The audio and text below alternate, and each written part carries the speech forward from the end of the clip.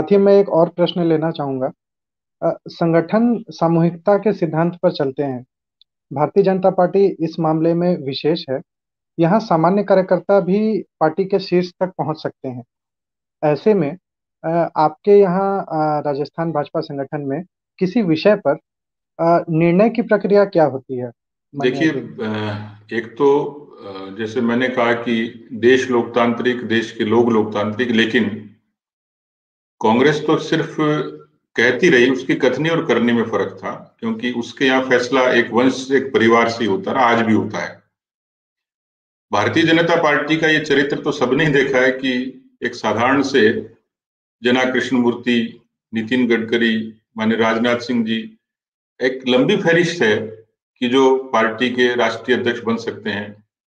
यहाँ बूथ का अध्यक्ष, मंडल अध्यक्ष बन सकता है, मंडल अध्यक्ष ज़िले का अध्यक्ष, बड़ी सहजता से ज़िले का, प्रदेश का। तो साधारण परिवारों के साधारण लोग, लेकिन वो आते डेमोक्रेटिक प्रक्रिया से इसलिए हम जब कहते हैं कि भारतीय जनता पार्टी आंतरिक लोकतंत्र की पार्टी है तो इसमें सत्यता है। मुझे कई बार आश्चर्य होता था कि ये कहते हैं, लेकिन ऐसा कैसे संभव होता होगा? लेकिन आज मैं महसूस करता हूँ कि जब मैं फैसले करता हूँ तो मैं अकेले नहीं करता हूँ। मेरे अकेले की कलम नहीं चलती है। मेरे साथ में और ऐसे एक पूरी टीम काम करती है।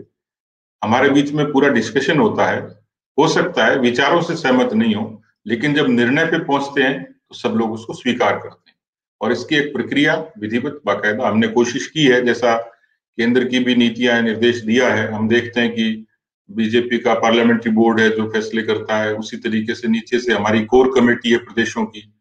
और बहुत अभी हमने नीचे राजस्थान में अब उसकी पूरी प्रक्रिया कर ली है कि हमारे यहाँ मंडल की एक समन्वय समिति है, विधानसभा के फैसले करने के लिए समन्वय समिति है, जिलों की हमारी समन्वय समिति है, जिसमें हमारे सांसद, विधायक, वहाँ के प्रमुख पदाधिकारी प्रदेश के पदाधिकारी, ये सब शामिल होकर और उस फैसले को अंजाम देते हैं। कहीं कोई गतिरोध होता है तो वरिष्ठ लोग उसमें हस्तक्षेप करते हैं, राय मशुरा करते हैं।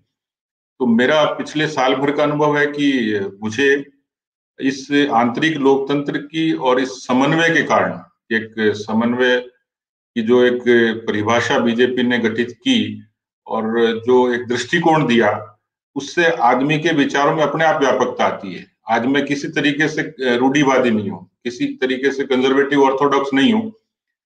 ये ठीक है कि अध्यक्ष के नाते मुहर मेरी लगती है, लेकिन कोशिश करता हूँ कि मैं राय सबसे करूँ बातचीत सबसे करूँ। और जब बातचीत करते हैं तो बहुत लोगों की अलग अलग तरीके से राय आती है। कई बार ऐसा होता है कि आ, मेरी ओपिनियन थोड़ी अलग होती होगी लेकिन सामने वाले की जब अच्छी होती है तो मैं उसको स्वीकार करता हूँ। ये करेक्टर कहीं है। मुझे कोई डिक्टेट नहीं करता है। मुझे न केंद्र का नेता डिक्टेट करता है न कोई प्रदेश का नेता डिक्टेट करता है लेकिन हम लोग सामूहिक रूप से बैठकर उसकी चर्चा करते हैं और नतीजे पर पहुँचते हैं और उसके सुखद परिणाम आते हैं। ये खूबसूरती मैंने बीजेपी में देखी